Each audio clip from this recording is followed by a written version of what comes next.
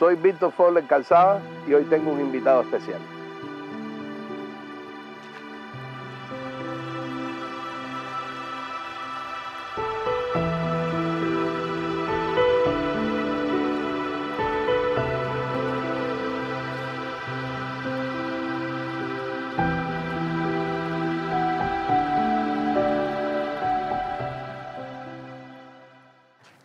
La frase de hoy, Dentro de la revolución, todo. Contra la revolución, nada. ¿Tú sabes dónde es eso? la frase es un clásico. Es una de las frases más discutidas sobre toda la cultura del periodo revolucionario, sobre toda la nueva cultura. Una frase que tiene muchos innumerables defensores, tiene innumerables detractores. E- es algo que merece ser súper analizado, súper colocado en contexto para entender realmente qué fue lo que nos dijo Fidel con esa frase. Hay un problema que es el del contexto histórico de ese discurso. Porque el discurso, la frase está sacada de contexto, el discurso está sacado de contexto. Y es el problema de entender en qué Cuba está ocurriendo esa reunión, en qué Cuba se está produciendo ese, ese discurso. O sea, una Cuba en la que se está llevando a cabo, por ejemplo, la campaña de alfabetización, que es el proceso cultural más importante de la historia de la revolución. Es una Cuba en la que hay alzados en las montañas, que están matando campesinos, que están matando alfabetizadores, que están matando maestros que está esperando constantemente, movilizada constantemente, porque está esperando una intervención militar. Y en esa Cuba, Fidel declara que es una revolución de los humildes, por los humildes, para los humildes, y declara el carácter socialista de la revolución. Y en esa Cuba, en la que al momento que se declara el carácter socialista de la revolución, miles de profesionales emigran, mi- millones de personas en el pueblo están constantemente movilizados. En esa Cuba, que es la Cuba de Girón, está ocurriendo el debate entre Fidel y los intelectuales. Cuando pienso en la frase, yo me pregunto y trato de llenar en mi cabeza, digo, ¿de qué manera un proceso que estaba concebido, estaba pensado como un proceso, si quieres clasificarlo dentro del orden de transformaciones sociales, diría, es una revolución democrático-nacionalista, el primero de enero de 1959. Un año y medio después, ya es marcadamente anticolonial y ya apunta a que es definitivamente antiimperialista, porque ya pasó por el medio Girón. O sea, Girón es un parteagua que lo va a cambiar todo para siempre. Y cambia el posicionamiento de qué cosa es ser un intelectual. Y entonces cuando uno piensa ese dentro y ese fuera, solo tiene sentido si estamos hablando efectivamente de cultura artístico-literaria, pero si estamos hablando de cultura de la vida, de cultura en un sentido global que incluye eh, las circunstancias de contexto total. Un sentido civilizatorio, nacional, Exacto, exactamente. Eso está así perfecto, o sea, un sentido civilizatorio y nacional. Esa nación y esa idea de mundo nuevo, porque la evolución esa tan rápida que se produce en Cuba, mí estás en, el- en abril de 61 estás declarando ya eh, país socialista, pero al mismo tiempo, en unos meses, lo que unas personas pudieron pensar, tal como decía, que solo iba a ser un proceso democrático nacionalista más, muchos creían y decían que era la terminación de los sueños de la revolución del 30. Y resultó que al caer o al desarrollarse o al expandirse como una bomba dentro del contexto de su época concreta y en la región, no en vano, Cuba es post golpe de Estado Jacobo Arbenz. Poco después de que suceda esta reunión de 61, unos añitos después vas a tener la invasión en República Dominicana. Es decir, hay una situación de contexto, de, de- agresividad imperial. Y entonces, de repente, en meses, se produce esa evolución que arrastra lo que es ser un intelectual. Pero eso tiene que ver también con unos acumulados. Tiene que ver, por supuesto, con la Revolución del 30 y no es casual que Fidel le haya recomendado basarse en el manifiesto de Montecristi y en el programa de la Joven Cuba para redactar el manifiesto del 26 de julio. O sea, eh, ahí hay unos acumulados y la Revolución del 30 no es solo un- una cuestión democrático burguesa. Y por eso es que, o sea, el movimiento del 26 de julio no es simplemente un movimiento democrático, eh, aunque lo parezca. Por eso esa radicalización tan rápida no es tan casual. porque hay unos, hay unos acumulados ahí en, la, en Cuba que producen la revolución de 1959. Está en el, en el, en el barrio, yo, yo siempre pienso, en un barrio, en una calle de 1950, es una calle en la que confluyen, por ejemplo, un emigrado republicano español, que puede ser comunista. Sí, sí. ajá. Donde, está, donde están gente que lo formaron, maestros normalistas, que los maestros normalistas en la conformación de la manera también de entender la cultura cubana tienen un, pa- un papel muy importante Sí, cómo no. en ese patriotismo, incluso en el antiimperialismo. Están los que fueron militantes de la Revolución del 30, que lucharon en la Revolución del 30. Está la gente que se siente frustrada con la Constitución del 40. Entonces, todo eso es un- refleja un- unas determinadas expectativas culturales, no en sentido artístico y literario nada más, que permiten entender la rápida radicalización de la Revolución cubana. En combinación con el incremento muy rápido de esa agresividad imperial. Por, supuesto, por supuesto. O sea, ambas cosas. Eso es algo que le llamaríamos caldo de cultivo. ¿Cuál es el lugar de palabra de los intelectuales en todo esto? Supuestamente, o sea, porque ese es la- la- el objetivo declarado. La palabra de los intelectuales ocurre porque hay una polémica. por el famoso corto de PM de Sabá Cabrera Infante, que refleja un segmento de la población, un momento de La Habana, la nocturnidad, el disfrute, los bares, que efectivamente hay gente que entendió como un mensaje tremendamente negativo que no reflejaba la situación del pueblo de Cuba, que era un pueblo que mayoritariamente en ese momento estaba sobre las armas o estaba alfabetizando. Uno entiende después, eh, con el tiempo, ¿no? que todas estas polémicas que parecen estéticas, que parecen teóricas, pasa, pasa mucho en el marxismo, diferencias que parecen diferencias solo teóricas, lo que reflejan detrás son diferencias políticas. Y, detrás- y entonces la explicación de todo esto que pasó con PM, que lleva a palabras los intelectuales, tiene que ver el, el de la declaración de carácter socialista de la revolución. Y por ejemplo, el funcionamiento que está teniendo en ese momento una organización como la JORI, el papel del sectarismo y el, y el tipo de actividad política que dentro de la JORI y en distintos sectores de la sociedad por ejemplo, los viejos militantes de- del PSP estaban desplegando los miedos y el anticomunismo que existía en la sociedad cubana, que también es un problema cultural. O sea, hay una sociedad que ha sido bombardeada con una propaganda anticomunista extraordinaria, que está asustada de las cosas que pasaron con los intelectuales en la Unión Soviética, que es verdad, pasaron cosas terribles que no debieron haber pasado nunca en el mundo de la cultura. Ese miedo, que en el fondo detrás la discusión estética lo que esconde es una discusión política, lleva a que ocurran las reuniones en palabras de los intelectuales. Pero Fidel, por supuesto, que es más listo, no hace una reunión para discutir una cuestión estética. Por eso la frase, dentro de la revolución todo contra la revolución nada, es mucho más que simplemente una frase sobre la creación, mucho más importante que una frase sobre el posicionamiento con respecto a la revolución y con respecto al pueblo, que es el concepto en torno al que gira el discurso de palabras los intelectuales, porque aunque las palabras son a los intelectuales, no son so- sobre los intelectuales nada.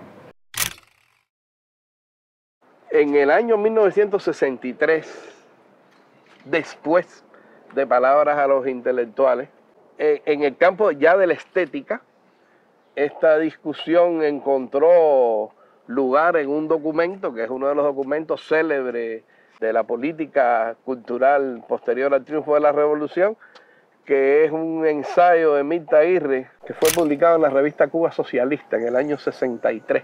Realismo, realismo socialista y la posición cubana. Exactamente la idea de que en Cuba no se eh, iba a imponer como norma el realismo socialista. De hecho, todo eso hay que vincularlo. Hemos hablado del contexto del discurso, las posiciones intelectuales que van a cambiar a raíz de que este discurso tenga lugar, pero curiosamente no hemos hablado todavía del discurso. El discurso en cuestión. El discurso, lo primero es que el discurso es una conversación, es un diálogo. Ajá. Porque no fue que Fidel convocó a los intelectuales, que no- de hecho no estaban todos los más importantes intelectuales, esa selección de intelectuales que había los convocó para que lo oyeran hablar. O sea, el discurso responde a una conversación que había ocurrido durante varios días, se habían expresado un conjunto de, de ideas, y el discurso gira en torno a un grupo de ideas fundamentales. Ya, perdóname, o sea, es, porque esto es importante dejarlo aclarado. Nosotros lo conocemos hoy con ese nombre, pero es un momento dentro de un intercambio. Oh, y no solo eso, sino que como todos los discursos de Fidel son fotografías de un proceso, que es el proceso del pensamiento de él. El discurso es un momento específico de ese pensamiento de él que se materializa en la forma de palabras. Entonces, en el caso de palabras intelectuales, ahí él teje el discurso en torno a varias ideas, a, un- Sí. a un grupo de ideas fundamentales. Parece que es una discusión estética, pero es una discusión política, donde él dice, bueno, no se preocupen, en cuanto a la forma, la libertad de creación formal es total y absoluta, y la revolución no es enemiga de la libertad. Vamos a discutir sobre el contenido. Él, eh, cuando habla de la libertad formal, no solo habla de, la libertad de creación, no solo habla de la libertad, eh, o sea, de, en, en sentido de que hubiera un permiso o algo de eso para crear, sino incluso de las condiciones de crear la revolución, para que los creadores puedan crear. Él dice, hay un, hay un momento del discurso en el que él dice algo así como aquí se habló de pintores que bebían de café con leche. O sea, porque realmente es la revolución la que le hace, la que pueda decirle, por ejemplo, a un escritor, vete para tu casa a escribir. Y te vamos a crear las condiciones para que tú puedas vivir de escribir. Te dediques a crear tu obra, un Claro, pintor, eso o un lo, pintor. lo- lo que significa eso que tú dijiste, o sea, el discurso cambia el uso liberal del concepto libertad. Exacto, esa es otra dimensión de la es otra manera de entender la libertad. Que no es decir puedes o no puedes decir, no es. Bueno, y las condiciones de posibilidad que tú digas. Porque por supuesto. Siendo, siendo el sector social que sea. Exacto. Porque esa es la parte particular de un proceso eh, eh, emancipatorio de, de- de corte igualitario. Hay otra idea, que es la idea de el derecho de la revolución a defenderse, que tiene mucho que ver con qué representa la revolución. Entonces se sitúa la revolución no como el gobierno, sino la revolución como una voluntad popular sublimada, la revolución como la garante del pueblo de sus derechos, de sus necesidades. Por eso que dice, para nosotros será bueno, será noble, será bello, lo que sea bueno, sea noble y sea bello, para el pueblo. Ahí radica el porqué, el, el, el contexto de la frase de dentro de la revolución todo, contra la revolución nada, ¿por qué? Él dice contra la revolución ningún derecho porque contra el pueblo ningún derecho, es lo que significa lo que significaría esa frase en ese contexto que él lo está diciendo. Y hay una última idea, que es el tema de la democratización de la cultura y del conocimiento. Eh, La primera vez que yo fui al Jardín Botánico, que fui a de grande, yo no he ido nunca al Jardín Botánico, yo me decía, ¿cómo alguien piensa que a un pueblo le hace falta conocer las plantas que hay en China, las plantas que hay en Australia, las plantas que hay en África? Porque todo eso está en el Jardín Botánico. Si vamos al discurso de palabras intelectuales, esa idea de democratizar no solo la cultura, sino el conocimiento, esa idea de la universalidad a la que las personas en Cuba, que el pueblo de Cuba pueda tener acceso, es central en la concepción de Fidel de la revolución como revolución cultural. Lo otro que está en, la- en el discurso también tiene que ver con la cultura, pero no solo tiene que ver con la cultura, es el, el problema del sectarismo. Eh, Habíamos dicho que tenía que ver con el contexto, todo esto de la SORI, lo que está pasando dentro de la SORI y para el bloque de la revolución. Y cuando Fidel habla de los honestos, de los revolucionarios y de los incorregiblemente contrarrevolucionarios, dice la revolución nada más que puede renunciar a los incorregiblemente revolucionarios, tiene que aspirar Ah, a los que incorregiblemente contra a los, a los revolucionarios. incorregiblemente contrarrevolucionarios tienen que aspirar que todas las personas honestas marchen junto con los revolucionarios y marchen junto a la revolución. Esa idea también es una idea muy útil y muy fundamental que nosotros podemos ver de ese discurso. Y Fidel termina con una idea de que el, el miedo que pudiera existir en ese momento, las discusiones que puedan existir en ese momento, a lo mejor habría que dejárselas a las generaciones posteriores y que fuera el futuro el que juzgara la obra de la revolución. ¿Qué hay detrás de eso de incorregiblemente contrarrevolucionario? Esa distinción es muy importante tiene que ver con el devenir posterior, por ejemplo, de la política cultural. Porque ahí se abren dos líneas. La línea de Fidel, en palabras intelectuales, es la de la disputa de la hegemonía en el campo de la cultura. ¿Qué tienen que hacer los revolucionarios para ganar en el campo de la cultura y hacer que los honestos y todo el mundo marche con la revolución? Pero hay otra línea de entender la política cultural que está ahí también, están discutiendo ese día también, está esa línea, y, y porque existe esa línea y porque existe el temor a esa línea, ocurre también en parte ese debate de palabras intelectuales. Y por eso Fidel tiene que hablar y por eso se ocurren todas las polémicas de la década de los 60 y todo lo demás que ha pasado después, que es la, la idea de que no hay que disputar la hegemonía, sino que la hegemonía y la cultura se pueden administrar. Y eso produjo, por supuesto, después montones de, de desencuentros y de cosas que, terribles que ocurrieron y que, no, y que no debieron haber ocurrido, algunas inevitables, otras no debieron haber ocurrido. Y que tiene que ver con el hecho de que, aunque se diga mucho que palabras los intelectuales es la política cultural de la revolución, es una simplificación. Porque no existe la política cultural de la revolución, sino existen en todo caso las políticas culturales de la revolución que en cada momento han sido Sí. diferentes, incluso por determinados sujetos rela- relacionados con la institucionalidad de la cultura, se han ejecutado de maneras diferentes. No es igual eh, la política cultural en el ICAI en, el, en 1972 que la política cultural en, en la dirección de las artes escénicas. Son políticas culturales diferentes y unas tienen que ver con la idea de administrar la cultura, que predominaron en un momento determinado. Y eh, ahí ocurrieron todos estos fenómenos que conocemos como el quinquenio gris, los fenómenos que conocemos como la parametración. Es la idea de que no hay que disputar la hegemonía, no hay que discutirla, no hay que ganarla, sino que ya se tiene y con, el uso de mecanismos administrativos, con el uso de la fuerza, pues quitamos este, ponemos otro, de tal obra no la, no la publicamos, o sea, de una manera administrativa, ejercer la política cultural. Incorregiblemente contrarrevolucionario, forma libre, aceptada. Vamos a considerar que lo que es bueno es lo que sea bueno para el pueblo. Deja una esquina abierta en la cual es posible que exista algo, existan cosas que sean dañinas para el pueblo. en el abanico de lo que dañe la unidad nacional a lo que esté al servicio de una versión ajena de qué cosa es el país, su identidad, su destino, sus posibilidades dentro de un proyecto social. Todo eso está implícito en esas frases de Fidel. Ahora, cuando uno piensa esto en la línea del tiempo, esto significa que la hegemonía es indisputable. Y que no hay que reproducirla todo el tiempo. Lo que es, ahí era donde quería llegar. Que conquistar la hegemonía lo que significa es, en realidad, la reproducción continua, la reproducción permanente de la hegemonía. Eso es lo que nos habla de lo que es las guerras culturales de hoy, del presente. Precisamente el problema de la cultura socialista cubana no es solo el problema de Cuba, sino es la intención esa de un, proyecto civilizatorio diferente, de crear una socialidad diferente, de crear una sensibilidad diferente, un deseo diferente, un deseo de personas y unos referentes y unos valores, de personas que quieran vivir y vivan en una sociedad cuyo eje de, de funcionamiento sea la solidaridad, sea la generosidad, que vivan en armonía con la naturaleza. O sea, todas esas preguntas que implican un proyecto civilizatorio diferente son preguntas que tienen que ver con la culturización, el problema de la cultura nueva. O sea, que es la creación de ese mundo nuevo.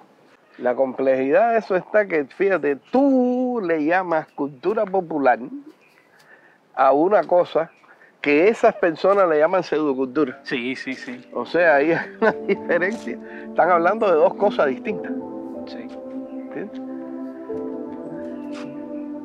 Ya, ¿Tú no habías venido aquí? No, yo no había venido aquí. Esto es la antigua Quinta de los Molinos.